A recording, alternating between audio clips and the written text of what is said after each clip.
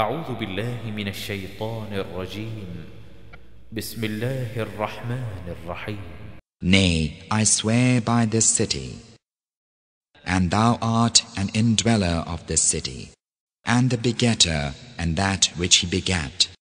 We verily have created man in an atmosphere. Thinketh he that none hath power over him? And he saith, I have destroyed vast wealth. Thinketh he that none beholdeth him? Did we not assign unto him two eyes, and a tongue and two lips, and guide him to the parting of the mountain ways? But he hath not attempted the ascent. Ah, what will convey unto thee what the ascent is?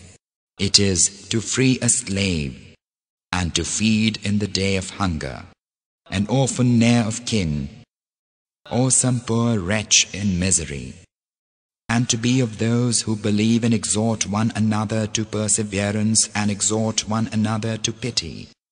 Their place will be on the right hand.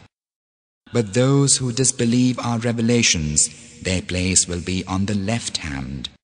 Fire will be an awning over them.